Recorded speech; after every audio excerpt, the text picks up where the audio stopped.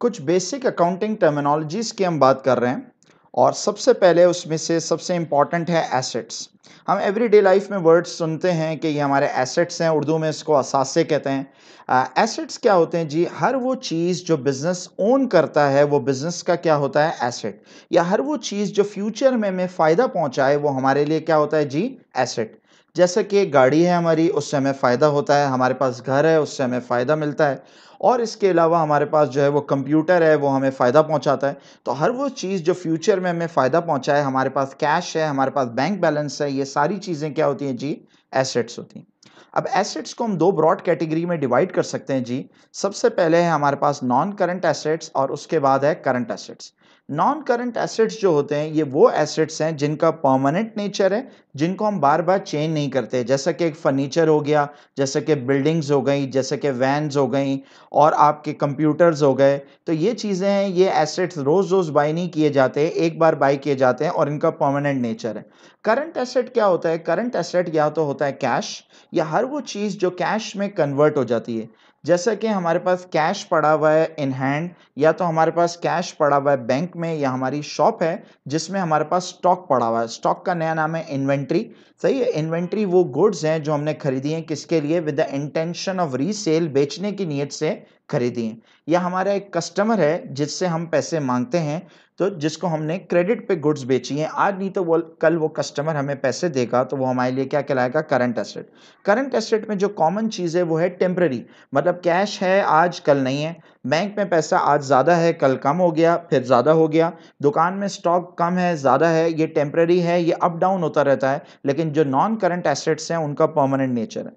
Non current asset की life एक साल से ज़्यादा होती है जैसे फर्नीचर कंप्यूटर बिल्डिंग मशीनरी हम एक साल से नॉर्मली ज़्यादा यूज़ करते हैं। लेकिन कैश जो करंट एसेट है, वो नॉर्मली इसकी लाइफ एक साल से कम होती है। इसका मतलब एक साल के अंदर अंदर हम उसको कन्वर्ट कर देते हैं किसमें? कैश के अंदर। जैसे इन्वेंट्री है, वो एक साल से ज़्यादा नहीं रखते, वो हम बेच देते हैं। तो ये हो गए हमारे within a year normally consume हो जाता है। और जो नॉन करंट एसेट है, वो हमारे अपने इस्तेमाल के लिए होते हैं, वो हम बेचने के लिए नहीं खरीदते लेकिन करंट एसेट जो है, जैसे कि स्टॉक है इन्वेंट्री वो हमने बेचने की नीयत से खरीदी है और वो हम रीसेल के लिए लेते हैं। तो हमने देख लिया भाई, एक नॉन करंट एसेट है, जिनका परमानेंट नेचर है और एक करंट एसेट है, जिनका टेम्प्ररी नेचर जैसे एसेट की दो कैटेगरीज हैं, वैसे ही हम बात करते हैं लाइबिलिटीज़ की। लाइबिलिटी क्या होती है? लाइबिलिटी होती है हमारी ऑब्लिगेशन किसी से हमने लोन लिया तो हमें वो लोन उनको क्या करना है? वापस रीपे करना है। तो जो पैसे हमने उनको वापस देने हैं, वो हमारे लिए क्या है? लाइबिलिटी किसी से हमने गुड्स खरीदी, उधार पे, और अभी तक हमने उसके पैसे नहीं दिए, आज नहीं तो कल हमें उसके पेमेंट देनी है, और वो हमारे लिए लाइबिलिटी लाइबिलिटी भी दो तरह की होती है जी नॉन करंट लाइबिलिटी और current liability non current liability वो होती है जो हमें एक साल के बाद रीपे करनी है सही payable after more than one year और करंट लाइबिलिटी वो लाइबिलिटी है जो विद इन अ ईयर हमने क्या करनी है पे करनी है। सही, अगर हमने किसी से गुड्स खरीदी या किसी से कोई चीज़ और खरीदी, जैसे फॉर एग्जांपल फर्नीचर खरीदा उधार पे तो कुछ दिनों में या कुछ महीने में हमने उसके पैसे देने होंगे।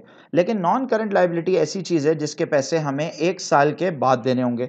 जैसे कि अगर हमने बैंक से लोन लिया तो अब इसके पैसे हमें क्या करने होंगे?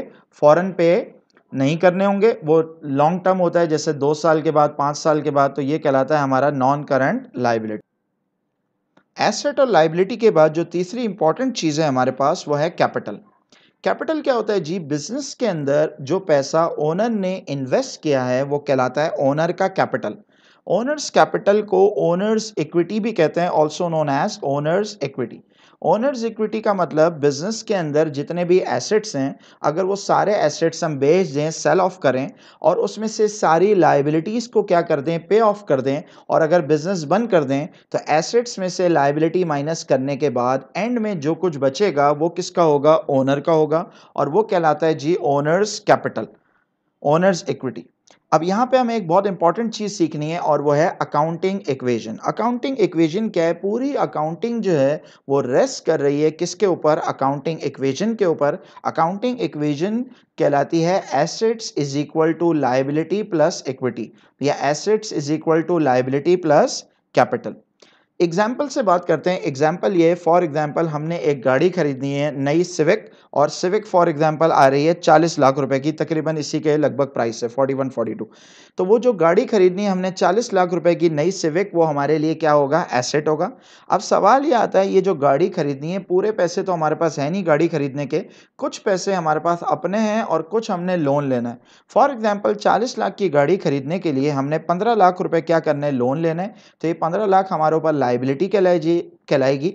चालीस लाख में से अगर पंद्रह लाख हमारे ऊपर लाइबिलिटी है तो बाकी पच्चीस लाख हमें अपने पैसे इन्वेस्ट करने पड़ेंगे गाड़ी को खरीदने में, और जो अपना पैसा लगाया गाड़ी को खरीदने में, वो कहलाएगा हमारा इक्विटी या कहलाएगा हमारा कैपिटल तो इक्वेशन क्या बन गई? Assets is equal to liability plus capital asset side हमेशा बराबर आती है किसके? लाइबिलिटी प्लस कैपिटल के। ये जो एसेट्स हैं अच्छा अब हम इसको थोड़ा सा इंटरचेंज भी कर सकते हैं कैसे? अगर मुझे ये कैपिटल फाइंड करना है कि गाड़ी के अंदर मेरा अपना पैसा कितना लगा हुआ है कैपिटल तो ये सिंपल मैथ्स का रूल है, ये जो प्लस हो रहा है एल ये इक्वेशन के इस तरफ़ जाके क्या हो जाएगा जी, माइनस एल हो जाएगा। तो एसेट्स में से अगर मैं लाइबिलिटीज़ माइनस कर दूँ तो मेरे पास क्या आ जाएगा? कैपिटल तो इक्वेशन बन जाएगी asset minus liability is equal to capital अब मैं देखना चाह रहा हूँ, जी, अगर गाड़ी मैंने खरीदी और वो गाड़ी है चालीस लाख की, जिसमें से मैंने लोन कितना लिया? चालीस लाख रुपए की गाड़ी में पंद्रह लाख रुपए का मैंने लोन लिया। यार, अगर 40 लाख रुपए की गाड़ी में 15 लाख रुपए जो है, वो मेरे बाहर वालों से मैंने पैसे लिए बैंक से लोन लिया तो मेरी अपनी इक्विटी कितनी है उस गाड़ी के अंदर? मेरी अपनी इक्विटी है 25 लाख। है? जी, बात समझ में। आपका जो बिज़नेस है, उसमें टोटल एसेट है फॉर एग्जांपल 40 लाख, जिसमें से 15 लाख रुपए लगे हुए हैं बाहर वालों के, वो हमने बाहर वालों को देने हैं। तो बिज़नेस में जो कुछ ओनर्स से बिलोंग करता है, वो कहलाता है ओनर्स का इक्विटी या ओनर्स का कैपिटल तो यहाँ पे ओनर्स कैपिटल हो गया कितना? जी 25 लैक्स इसको ऐसे भी समझ सकते हैं कि जो एसेट्स हैं, वो कहलाते हैं बिज़नेस के रिसोर्सेज रिसोर्सेज का क्या मतलब है जी? बिज़नेस चलाने के लिए हमें क्या कुछ चाहिए? फॉर एग्जांपल अगर हमें एक स्कूल खोलना है तो हमें बिल्डिंग चाहिए, हमें फर्नीचर चाहिए, हमें कंप्यूटर्स चाहिए, हमें एयर कंडीशनर्स चाहिए प्रोजेक्टर चाहिए तो जो कुछ चाहिए हमें, वो हमारे लिए क्या है? रिसोर्सेज अब ये स्कूल खोलने के लिए जो रिसोर्सेज चाहिए, ये पैसा आएगा कहाँ से? या तो हम बैंक से लोन ले सकते हैं, ये हमारे लिए कहलाएगी लाइबिलिटी या तो हम क्या कर सकते हैं ओनर खुद अपना पैसा लगा सकता है, वो क्या कहलाएगा? इक्विटी तो ये जो अकाउंटिंग इक्वेजन है, इसको ऐसे भी कह सकते हैं कि resources always equal sources business में जितने रिसोर्सेज हैं वो पैसा आएगा कहाँ से? दो सोर्स से बिज़नेस में हम पैसा इन्वेस्ट कर सकते हैं। या तो हम पैसा लगाएँगे लाइबिलिटी फॉर्म में, बाहर वालों से पैसा लेंगे, या तो हम अपना पैसा बिज़नेस में इंजेक्ट करेंगे, वो क्या कहलाएगी? बिज़नेस की इक्विटी कहलाएगी।